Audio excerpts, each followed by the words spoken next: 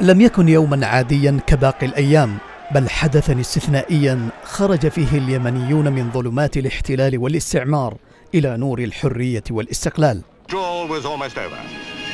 لقد مثل جلاء آخر جندي بريطاني في الثلاثين من نوفمبر تتويجا لنضالات اليمنيين في الشمال والجنوب وانتصارا لثورتي السادس والعشرين من سبتمبر والرابع عشر من أكتوبر.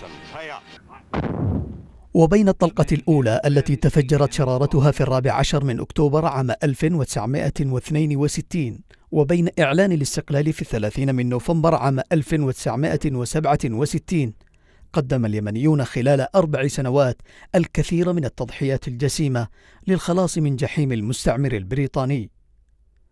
ولم يكن الاستقلال هو المكسب الوحيد. فقد شكل رحيل الاحتلال البريطاني منعطفا مهما نحو توحيد الأراضي اليمنية تحت راية وقيادة واحدة والقضاء على السلطنات التي خلفها المستعمر لتكريس الانقسام وتغذية الصراعات بين اليمنيين. الكثير من المكاسب التي لا يمكن حصرها لكن أبرزها ميلاد الجمهورية اليمنية الواحدة والدولة المستقلة التي يعترف بها كل العالم رغم ما تعانيه اليوم من حرب وانقسامات.